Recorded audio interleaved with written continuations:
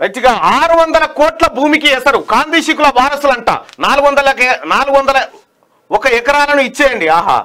నిషేధిత జాబితా నుంచి తొలగించండి. నిబంధనలు పక్కన పెట్టి ఓకే చేయండి.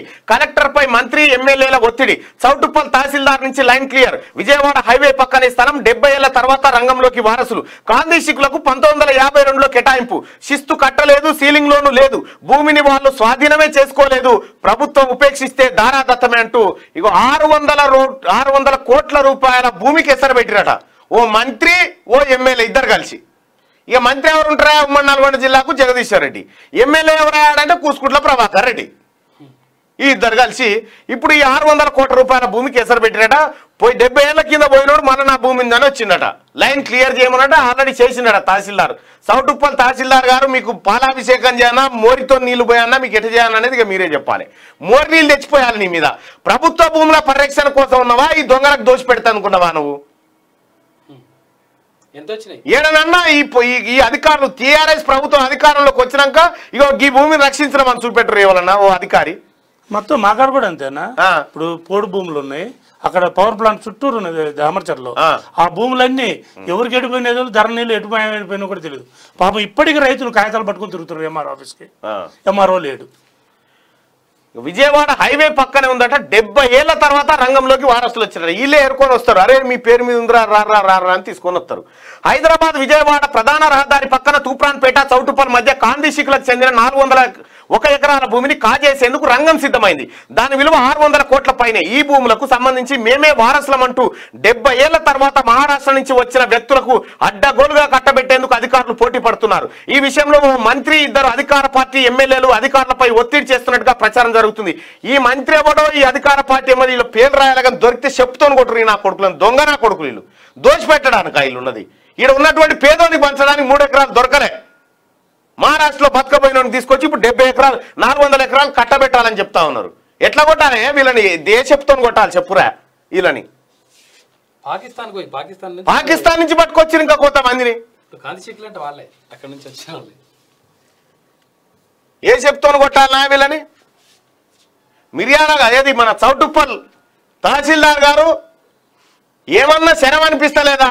ప్రభుత్వ భూమిని రక్షించాల్సిన నువ్వే ఇన్ని రకాలుగా దొంగలకు సర్దిగట్టే కార్యక్రమానికి నీకు ఉద్యోగం ఇచ్చింది అక్కడ? ఇప్పుడు ఆంధ్రజ్యోతి కథనానికి సమాధానం చెప్పండి. ఆంధ్రజ్యోతి కథనానికి సమాధానం చెప్పండి మీరు చూద్దాం. మంచి దొడ్డుది డబుల్ డబుల్ పేరగాని చెప్పాను ఉంటుండే. పేరగానే డబల్ ఉంటుండే. దాన్ని తీసుకొని కొడితే ఈ సన్నాసులకు చక్కగా అవుతుండే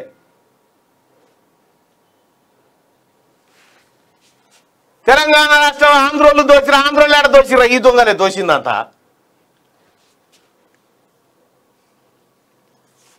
ఇగో ఇంత విలువైన భూమి విజయవాడ హైవే మీద చౌటుప్పల్ వద్ద టిఎస్ఐఐసి ఏర్పాటు చేసిన నాలుగు వందల ఎకరాల పారిశ్రామిక పార్కు ఆనుకునే కాందిశికుల భూమి ఉంది. నాలుగు వందల ఒక ఎకరాల వివాదాస్పద భూమిని కాజేసేందుకు అధికార పార్టీ నేతలు తెర వెనుక మంత్రంగా నడిపిస్తున్నారనే ఆరోపణలు ఉన్నాయి. పర్యావరణ హితంగా ఏర్పాటు చేసిన పారిశ్రామిక పార్కులో ఇప్పటికే పలు పరిశ్రమలు రావడం చుట్టూ రియల్ ఎస్టేట్ విస్తరించడంతో కాందిశికుల భూమి మొత్తం కొండలు గుట్టలే అయినప్పటికీ నేతల కన్ను పడింది. ఎక్కడ ఉన్న ఎక్కడో ఉన్న వారసులను తెర మీదకి తెచ్చారు. కథ నడిపిస్తున్నారు. పారిశ్రామిక పార్క్ కోసం సేకరించిన భూములకే రాష్ట్ర ప్రభుత్వం ఎకరాకు అరవై ఐదు లక్షల చొప్పున పరిహారం చెల్లించింది.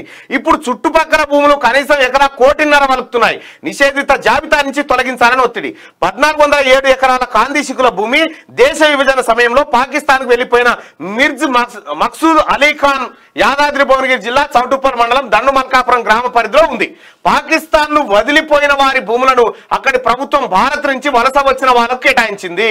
భారత్ను వదిలిపోయిన వారి భూములను పాకిస్తాన్ నుంచి వచ్చిన కాందిశికులకు కేటాయించాలని కేంద్ర ప్రభుత్వం అప్పట్లో నిర్ణయం తీసుకుంది. ఈ మేరకు పంతొమ్మిది వందల యాభైలో కాందిశికుల ఆస్తి చట్టాన్ని తీసుకొచ్చింది. ఆ చట్టం కింద అలీఖాన్ వదిలి వెళ్ళిన భూముల్లో నాలుగు వందల ఒక ఎకరాలను కేంద్ర ప్రభుత్వం పాకిస్తాన్ నుంచి భారత్కు వచ్చిన రెండు కుటుంబాలకు పంతొమ్మిది వందల యాభై రెండులో కేటాయించింది. ఆ రెండు కుటుంబాలు మహారాష్ట్రలోని కొల్లాపూర్ కళ్యాణ్ ప్రాంతంలో స్థిరపడ్డాయి. కళ్యాణ్లో ఉంటున్న రాధాబాయి కుటుంబానికి నూట నలభై ఒక ఎకరాలు కొల్లాపూర్లో ఉంటున్న తైల్ మిల్ కుటుంబానికి రెండు వందల ఎకరాల భూమిని కేంద్రం కేటాయించింది. అలీఖాన్ భూములు మొత్తం కొండలు గుట్టలు కావడంతో ఆ రెండు కుటుంబాలు హైదరాబాద్కు వచ్చి ఆ కొండల్లో చూసింది లేదు చేసింది లేదు. ఇప్పుడు ఒక మంత్రి ఒక మంత్రి ఇద్దరు ఎమ్మెల్యేలట. వీళ్ళు మందికి పుట్టిరేమో మరి నాకు అర్థం కాదు. ఎవని భూమి ఎవని కథ? ఇవో ఇట్లా దోచుకోవడానికి ఈ ప్రయత్నం చేస్తా ఉన్నారు. వీళ్ళనా మళ్ళీ ప్రభుత్వం గెలిపియాలి వీళ్ళని. వీళ్ళని మంత్రులను చేయాలి.